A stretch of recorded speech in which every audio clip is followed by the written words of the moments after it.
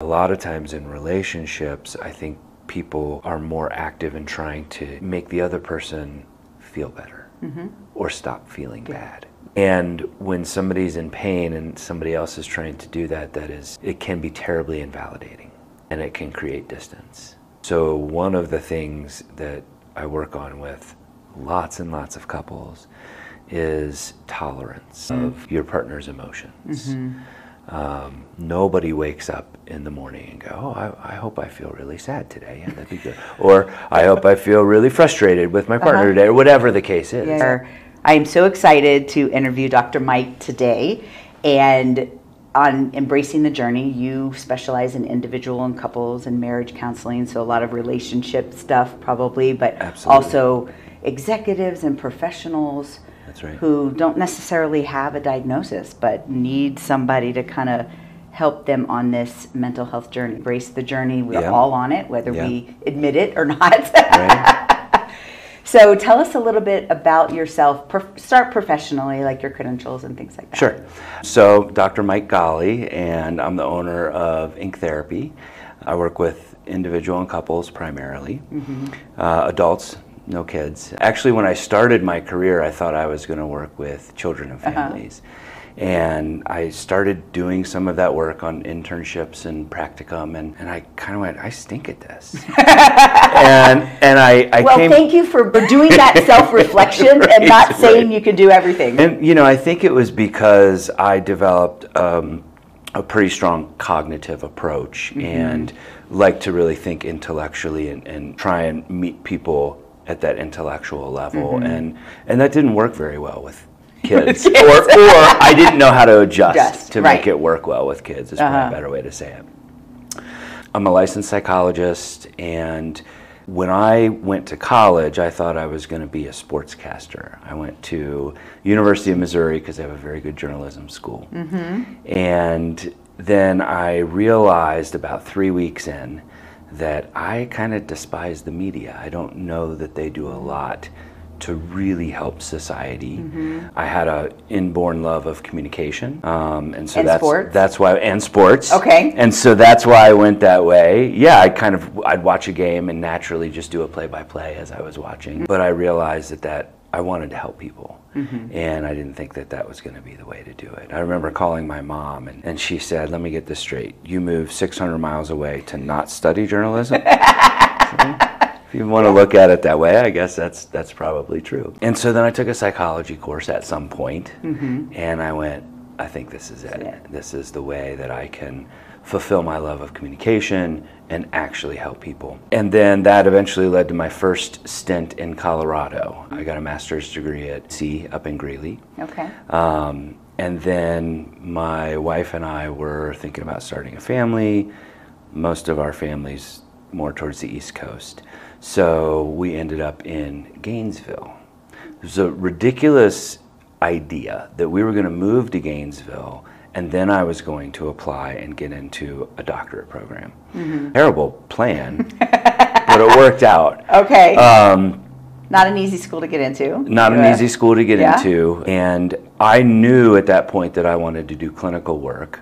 Mm-hmm. UF is a research one institution. And it and i was very honest. I have no intention of pursuing a research career. It almost kept me out of the program. I was an mm-hmm. alternate and Yeah. but i told them I'll, i will work as hard at the research as i do at the rest of it I'm really thankful that I went to that school. And then I worked at university, but F 1st and then FGCU. You're probably familiar. Well, maybe not. You went. You were at FIU. I saw. Yeah, yeah, yeah. Um, it's in Fort Myers. Oh, oh, yes, yes, at the Um, Coast. Yep. Yep. Okay. The joke is it's Florida Golf Course University. they do have a PGA program, so it's not. Yeah. And so I was there for about 12 years. The last four, I was the clinical director there. Um, and so a wide range of presenting issues and um, histories and backgrounds and cultures. Um, somewhere in that time frame, well, I can tell you exactly, it was about 2012, um, I joined a group practice and really got to engage much more in couples work, which is what I really wanted to do. Um, few and far between at a university that there's couples coming Right, in. right. And so in 2020, already a weird year, the end of that year, my father passed away. Mm-hmm. And um, ever since we had left Colorado, my wife and I really missed it. Mm-hmm. And, you know, things like that ha- tend to change your perspective on the world. We said, what are we waiting for? Right. Um, so we moved to Colorado Springs. For the first about six months, I was working uh, at a local uh, practice doing evaluations, psychological evaluations, which I had the skill set for. Right. Um, but it wasn't what really got me going. I would have clients who, at the end of the evaluation, I'd go through recommendations. If one of those recommendations was counseling, um, many, many times they'd say, Can I work with you? And I'd have to go, No, sorry.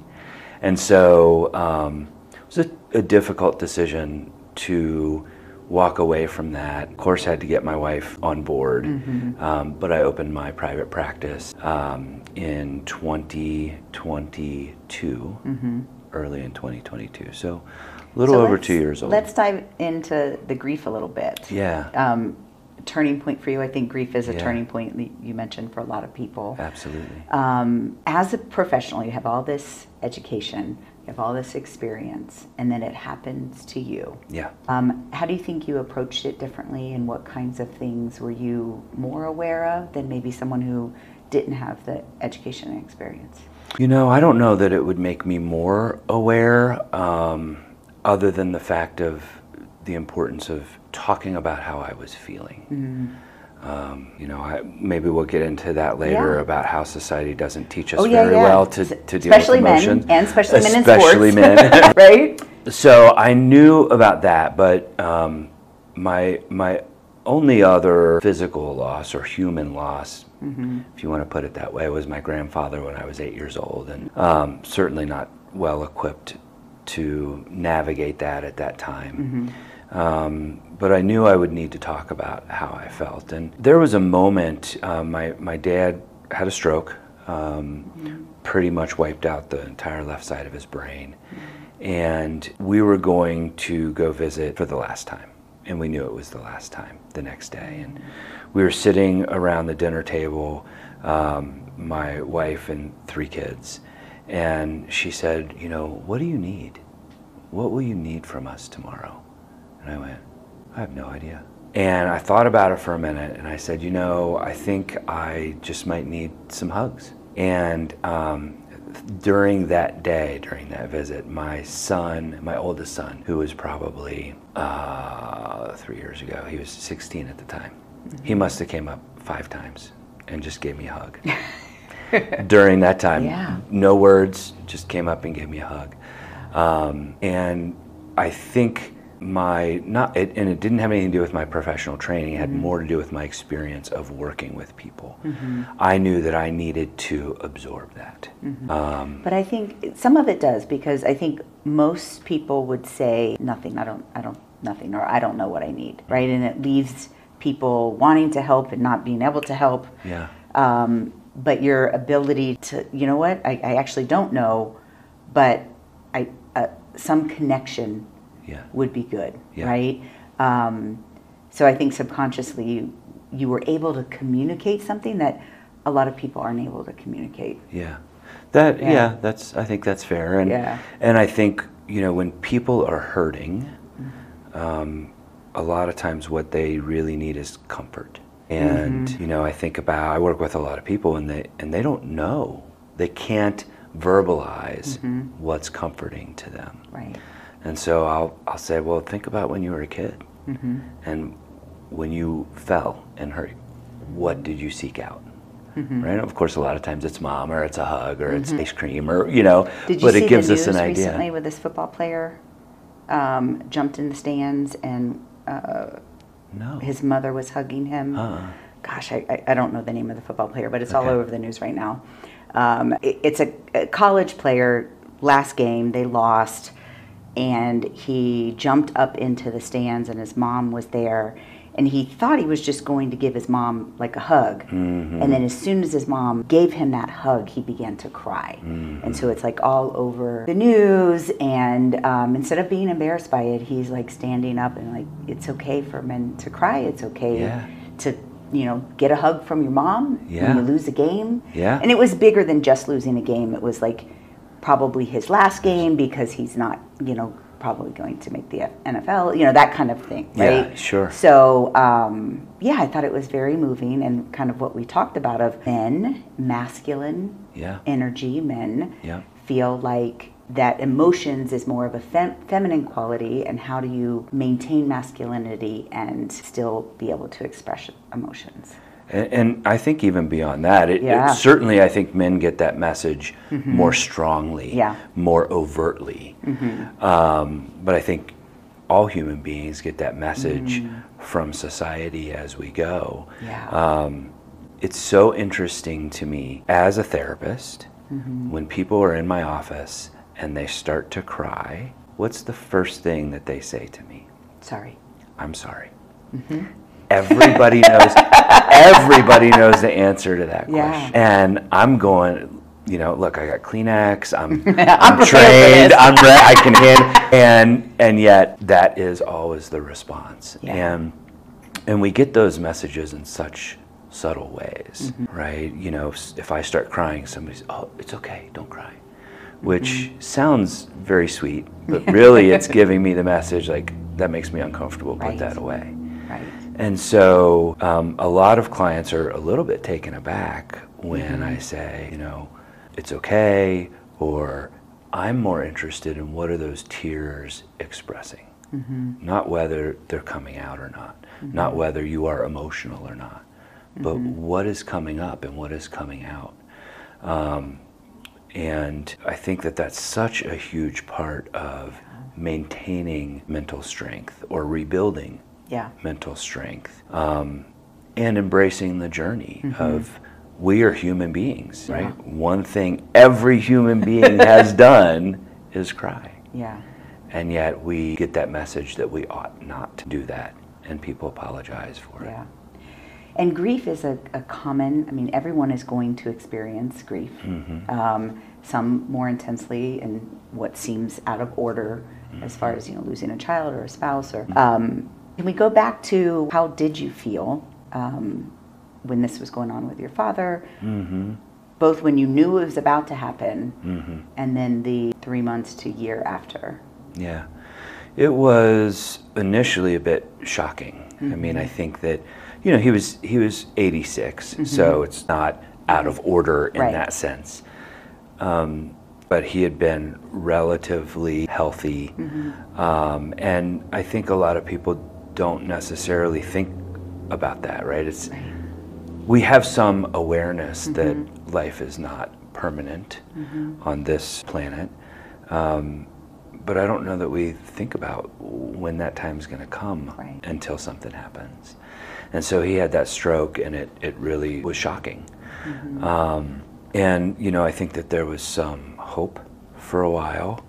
Okay, he's going to recover. They're, you know, they, he's stabilized. They, um, but we had to go to the hospital and um, make a decision because he was on life-sustaining support, and and that was a very difficult decision. Which is a different type of grief. Yeah. Now that it's there's a little bit of um, responsibility on Absolutely. that pressure. Yeah, how do you make that decision? That that is not my role is to decide when somebody's life ends. Right. Um, but we were talking to the the neurologist, and I said, "What does the recovery look like here? What what's you know best case scenario?" And when she told us that the best case scenario included him needing help going to the bathroom for the rest of his life, that you know, I knew that he didn't, didn't want, want that. that. Most people don't want that, but I Yeah. knew he did not want that. And so that made that decision crystal clear. And and he would have to learn to speak again, Mm-hmm. and there there was so much to it. So that was the end of hope, but it sent us down a different path. And um, hospice came into the home. Um, and then it was really about feeling an urgency to say what I needed to say. And and and at that point I knew that that was for me because I knew he couldn't understand what was being said In this on this earth. on this earth. And maybe his soul and maybe his spirit could absorb that. And and I had to trust in that. Um, but I also knew that I needed to say some things to say goodbye for me. Um, and then so that that was Yeah. that last day that we were there and um, and that was that was hard. Yeah. you know it's um, they say about therapy that it's a unique situation because you can you can be intentional and plan out how you say goodbye. And you know in in this sense i got that same opportunity. Um, and so the weeks and months after were complicated by the fact that i was the executor of his estate and um, and you know that's a story for another time um, but But oftentimes in grief, there's some stressors. You know, I was Yeah. uh, speaking to a patient recently who she lost her husband, and it was not just about the grief. Like she was about to lose the house. Yeah. Like he was the financial person. Like Yeah. there was so many other losses that she was experiencing that were urgent that she couldn't actually take the time to feel the emotional pain of losing her spouse. Well, and I think sometimes it's a mixed blessing, Yeah. right? It, it, it distracts us in both positive and negative Mm. ways. It gives us sometimes a sense that we're doing something to move, to Mm-hmm. move, um, and not just sitting in that place of grief. And at, at the Mm-hmm. at the same time, it it distracts us Mm-hmm. from being able to feel that. And of course, a lot of people don't necessarily want to feel that or don't realize the value in feeling their feelings. Mm-hmm. Yeah, you got to feel to heal. is what-. I like that. Which is not a, a cultural thing. Mm-hmm. We don't think about that. We we think of healing as fix, like just fix it. Right. Yeah. But you have to feel that pain in order for it to decrease in intensity. Is Absolutely. yeah, And and oftentimes finding ways to express that pain, right? To to get it out in some way, words, art. Um, those are the two main ways that Yeah. come to my mind. But Uh-huh. um, And do you use personally use art? What do you do? so I play music. Okay, Um, which is a form of art. It's mhm. also a vibration that causes movement. Yes. Um, I think music touches the soul for a lot of people, and that's Yeah. that's the case for me. And so, um, whether it's writing music myself or Mm-hmm. listening to music that matches or that helps me Mm-hmm. express when I have a hard time finding the words myself. At what point in your life did you realize that that was your what filled your cup? Early, probably. Okay. I've um, Because I think that that's a lot of people where they have problems in, in moving along in their journey is they, they haven't found what fills their cup. yeah, Um, somebody will say, "Oh, do this," and it doesn't work for them. Right. You know, like my the example I love to give is people are like, "Oh, just you know, learn to run. Running is this great therapy." So for people that that works for, it is running is a, a great release. For me, I hate running. Yeah. And so it was not therapeutic for me at all. yeah, yeah, So finding, you know, what what fills your cup yeah. um, is super important. And so I think, you know, I like to talk to men about that because I, I think women are more urgently trying to find it because Yeah. they the, the emotions are on the surface and they're trying to manage them. hmm But men feel like they're managing them By Um, ignoring them or stuffing them down Yeah. or- So what are some other, um, you know, tips that you give people as they're trying to find what fills their cup? You know, I think um, I use the language, what makes you feel alive, right? Which Mm-hmm. isn't always the same as filling your cup, but it's a good direction Yeah. to get you started. Um, because it helps you get in touch with, I think, both the positive and negative. Mm-hmm. You know, the, the thrill of victory and the agony of defeat. Mm-hmm. Um, Yeah. you know, it, it helps cover that range. And I knew pretty early on that music was a thing for me. I love to sing. It's one of the times I feel most alive in my life. And so it, it was sort of a natural thing for me to, to turn to. I think people who don't have that natural thing or haven't identified that thing for them yet, which is probably complicated by the messages society gives us about Right. emotion Yep. um, it can be frustrating Yeah. to, to search and you know journaling is a thing that therapists recommend Mm-hmm. a lot and some people love it And some I was watching the Olympics, and some of the gymnasts would journal as a yeah, way yeah. of helping them prepare and giving themselves positive messages. Some people Yeah. it just doesn't do much for. It feels inauthentic. It feels contrived, and and so it doesn't fill that. Mm-hmm. Right. But I think you got to try a few things. Yeah. I think also you have to know what's what are we going for here, right? Music, journaling, it's not to take the feelings away. It's, Mm-hmm. It's to feel them. the opposite. You got to feel to heal. Yeah. Um, yeah, and you see, I see this in sports a lot when someone does find a, a sport that helps them, and then they get an injury, and then they they don't have a plan B, and things mentally. I mean, you, you've seen this with some professional boxers and things like this when when they're unable to do what they're good at. Um, you know, or even a runner who then breaks their ankle and can't run for, you know, three to six months yeah. um, what happens to that mental health. So having kind of multiple um, avenues that, that Right. release that. You know, in those situations, not only is it a, a grief, they're losing something that they love, um, it's an identity issue for, Yeah. for some people, right? I am a athlete, Right. I am a runner, I, whatever the Yeah. case is. And then they lose that and they're like, I don't know what else I am. Um, Yeah, that happened with my husband. I think a lot. Um, he, we moved here in 2013 to try to save our children with cannabis because it was not legal in Florida at the time. Yeah. and he was working teaching and coaching football and even though there were signs of the neurological condition going on football is his he was a football coach he played football in college he was a football coach like that was his identity. And moving here he was unable to get a job because the disability was a little it was obvious and Yeah. i think there was some discrimination there. Oh, and um, he went to the neurologist to try to get a letter saying, you know, you can work and that this is, and the neurologist said you need to retire. Um, so, based on his brain scans and, and things like that. And so, um, I mean, it was almost a 10 year process, but, you know, there was definitely, um, you know, an identity thing about he'd always been an athlete and now he, you know, then it was in a wheelchair and kind of progressing like that. And he, he knew he did not want to um, be taken care of as far as, you know, going to the bathroom and things like that. And so as it got closer to that, you know, things progress faster. And, yeah. but yeah, losing that identity um, is hard it is. and it's- so that's what I was saying. Like everybody experiences grief. Mm-hmm. Uh, one of um, my favorite, uh, um, you know, like a review of, from someone, because a lot of times people think, "Gosh, her grief is so big, I don't even either want to watch that, or um, I can't learn anything from it, or I feel Okay. guilty for for having grief." Right? Okay. Um, Yeah. But this one person talked about like her grief. She didn't lose her children, but her children, her adult children, were making decisions that were not in line with how she was hoping. Yeah. You know. Yep. They would be right, and um, Yeah. that is grief.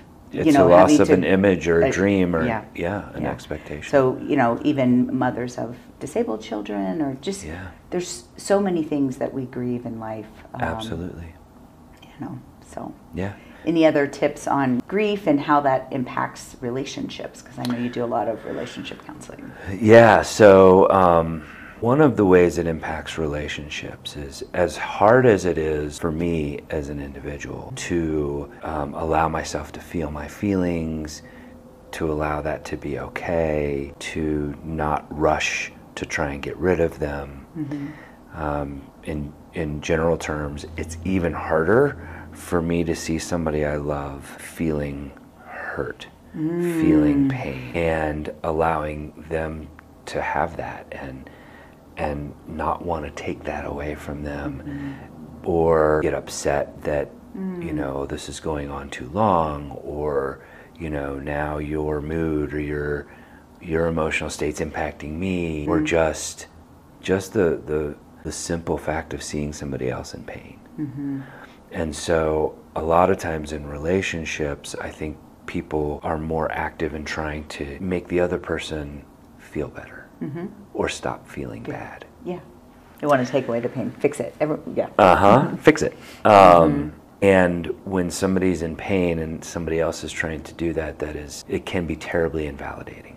and it can create distance. And um, so, one of the things that I work on with lots and lots of couples is tolerance of your partner's emotions. Um, nobody wakes up in the morning and go, "Oh, I, I hope I feel really sad today," and that'd be good. Or, "I hope I feel really frustrated with my partner today," or whatever the case is. Yeah, yeah, yeah. Um, and I think with grief, there's a little bit more tolerance around that at the outset, right? Right. Well, we expect somebody to feel sad when Yeah. there's loss. Um, but when that doesn't resolve on some time frame that other people think is appropriate, Yep. um, then it becomes problematic, and um, that can lead to, you know, distance. It can lead to um, resentment. It can lead to one of the biggest um, downfalls of marriages is the loss of friendship. And when one person is going through a significant emotional journey that the other person cannot, will not tolerate, accept, or understand, it creates that gap. Yeah. And so that's probably one of the main things that I that I teach or work on with the couples that I work with Yeah. is how do we number one identify, label, express how we feel, and express what we need. and Like express you what we need. Like you were able to say, Yeah. I, you know, I just need some hugs. Yeah. Um, and the other thing, and, and we talked about this a little bit offline before, of this like taking responsibility for your own journey Yeah. of you know your mental health and your mental strength. Yeah. And I think in relationship, we want the other person to rescue us. We want, and Mm-hmm. I'm guilty of this too. You know, like my, you know, like why, why aren't you helping me? You know, um, you are my person. You're supposed to be helping me. And um, so I think there's some of that wanting to be rescued from our pain. Yeah. Um, and in grief, we, we have to feel this pain, and only we can feel it. Like, um, people reach out to me who have lost a child, and they're like, you know, what do I do? Tell me what to do. And it's like, I can help guide you, right? But you have to feel the pain. No one else can do that for Absolutely. you. Um, and and sometimes that is taking time uh, alone to do that, and um, and knowing that you know, especially in intense grief, it is going to likely be a lifetime Yeah. of you know, but intermittently finding that joy and Yeah. and things like that. So, talk to me a little bit about your approach on that personal responsibility in their journey. Yeah, so um, it, it becomes very nuanced with, you know, when you have um, a romantic relationship that's, you know, that started as a friendship and turned into a romantic relationship and then turned into a roommate situation and a, and a you know, parenting partnership and a Right. financial partnership and all of those layers that, that become a part of our marriages or relationships. Um, because we do tend to walk that journey in so many ways with another person. And, you know, I think when we are looking to somebody else to help us feel better, to rescue us, um, really what we're wanting is for somebody to just bear witness to our pain. So that- Validate it, validate not it invalidate it, like you were talking about. so before. that we can have that space, so that we don't have to defend the pain that we're feeling. Um, quick story, if you don't mind. yes, absolutely, love Um, stories. So this was years ago, and I was driving home from work, and um, I called my wife, and she's crying. And I said, "What's wrong?" And she said that she was making dinner for the kids and dropped the bowl of pasta, and and I knew that she had been having a bad day, so that was mm-hmm. sort of the straw that broke the Right. camel's back. But I said, "I'll be home in ten minutes." And so I got home and I walk in the door and the kids are walking around in a daze. They don't know what to do. And you know, I walk in the kitchen and it must have been a terrific explosion because there was bowl and pasta and sauce everywhere. I said, you know, where's my wife? And I walk around and I see her sitting on floor leaning back against the cabinets crying. Mm. And there may have been a day or a time, there may still be. I'm not I'm not perfect by any means that I might have been bothered by that. You know, oh, I work hard all day and this is what I come home to, or, mm. or I would have tried to convince. It's not a big deal, what, mm-hmm. you know. But on this day, I got it, and mm. I, I went over and I knelt down beside her, and I just sat there for a minute. And at some point, I put my hand on her knee and I said, "It's going to be okay." A couple minutes later, I said, um, "I'm going to go clean this up and finish making dinner for the kids. Mm-hmm. And I got up, walked away. She eventually went in the other room, came back in about 10 minutes and said, Thank you. That's exactly what I What you needed. needed. And at the time, I went, What'd I do? Mm-hmm. I didn't do anything. Mm-hmm. All I did was bear witness to her pain and allow that to be okay, in that moment so that she could move through it. Yeah. And so, you know, I think that learning what to ask of our partner can be as simple as that is just be with me Yeah. in that time, you know. Um, what's comforting? A touch, words, it's going to be okay. Yeah. And then I can take that space. And I think that's where the personal responsibility comes in is I can allow myself to take that space. Um, I know that my community, that my village, that my people can hold down the fort or, you know, maintain what needs to be maintained so I can take that space. But I have to be willing to do that and allow myself to feel to heal. Yeah.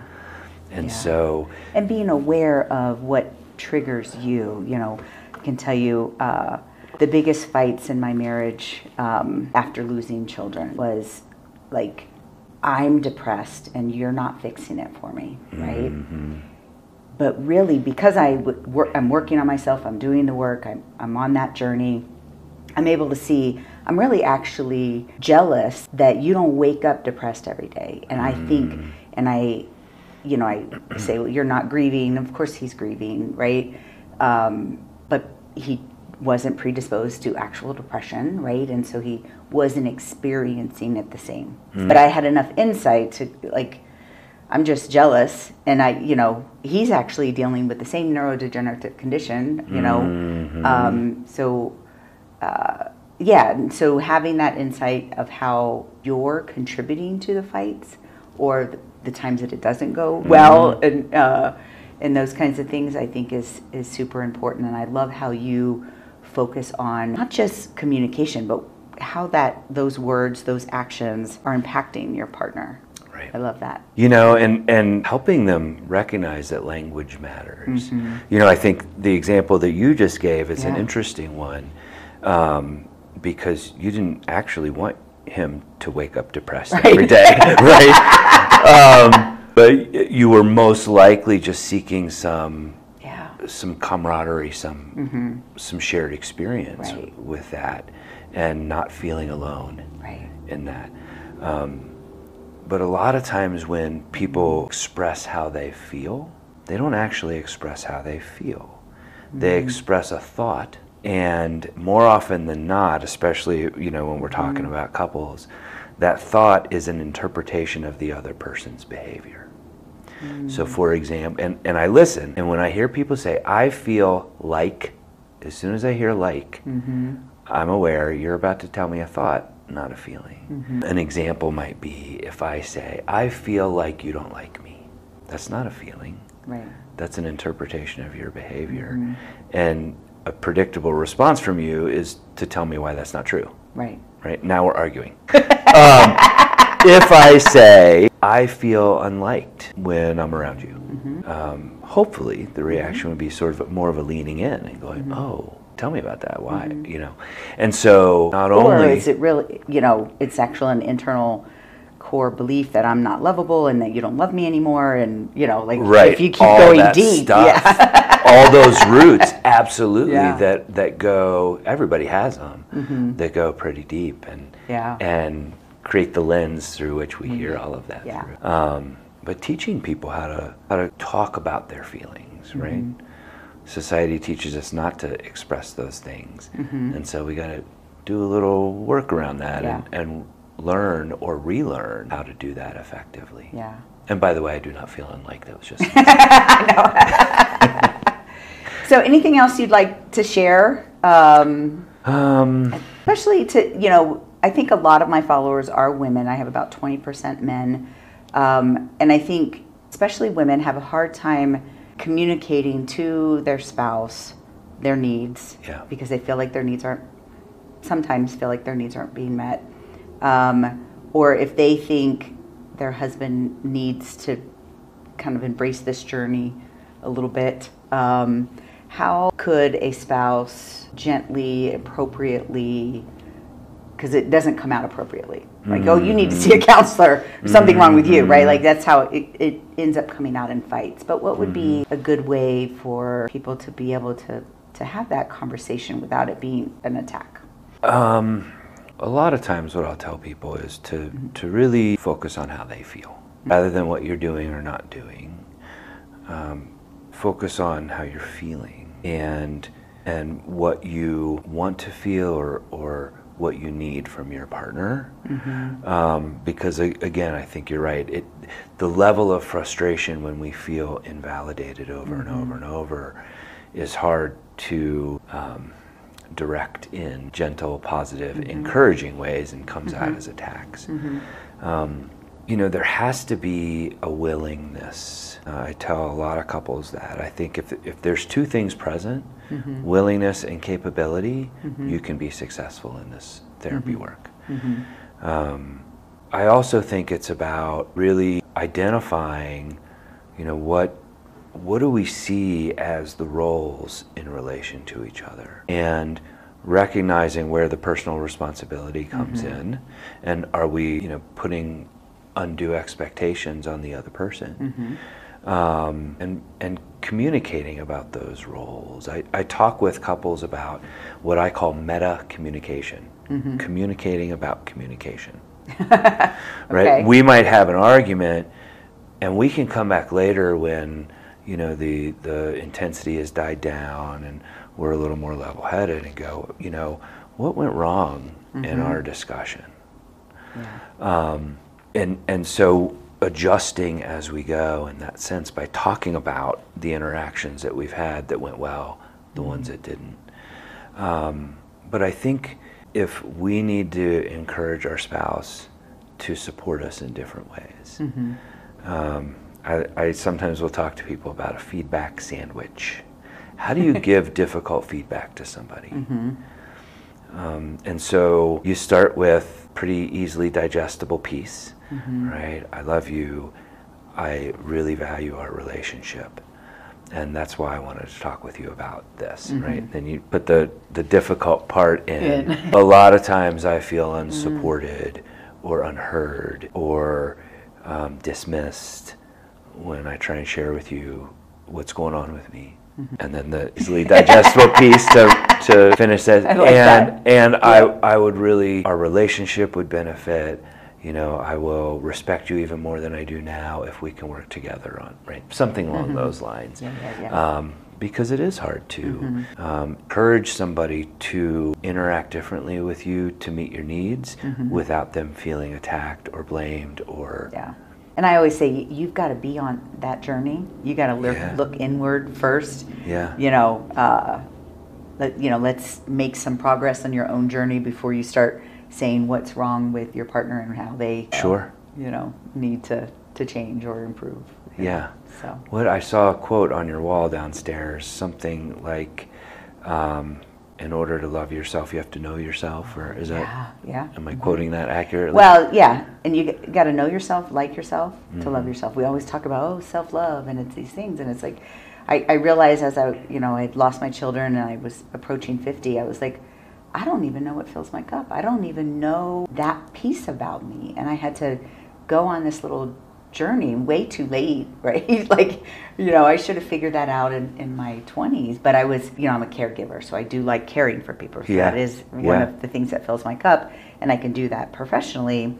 And so, you know, having kids, having a big family, taking care of my husband, right? Like, so I was filling my cup along the way. I just, I wasn't able to communicate it. I didn't know what some of those things were.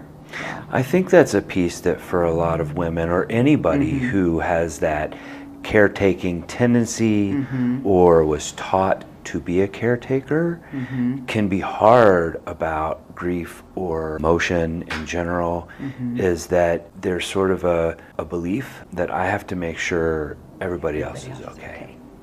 Yep. And that can interfere. Mm-hmm. And so, um, really, really challenging that in Yeah. times of need. Like, Mhm. hey, it's okay for me to need something sometimes. Right. Yeah. And I see this a lot with mothers who, you know, have have lost a child and have living children and they are struggling so much because they feel like they should be grateful and caretaking for their living children should be enough, and um, but haven't taken the time to feel that pain, and so just keep stuffing it down, stuffing it down. So, I think that's another piece of the emotional challenge we have in our society is that Mm-hmm. a lot of times we expect other people to feel one way or the other, Every, right? oh yeah, And- we live in a bipolar world for sure. Exactly, Yeah. right? Yeah. As though you cannot be grateful that you have these children who are living and thriving and, Mm-hmm. And be sad and grieving that Right. you lost a child. Right, absolutely. Well, thank you very much. This was very good conversation. We will have your contact information, your website in the description of the YouTube channel. But Excellent. just uh, tell people how um, how to contact you and Sure. uh, what kind of happens in that first um, Yep. call and visit. Absolutely. So people can visit the website. It's inctherapy.org. Um, if you're interested in scheduling a consultation, I do offer free telephone consultations uh, so we can talk about what the needs are and you can get a sense of whether we'd be a good fit to work together therapeutically. Uh, you can schedule that consultation right through the website. Um, you can always email me at info at inctherapy.org or call me directly at 719-500-1831. I'm quite accessible and I'm quite responsive to communication, so I'll get back to you rather quickly. So thank you for the opportunity Yes, to chat so today. I've, I've enjoyed it quite a bit. Good.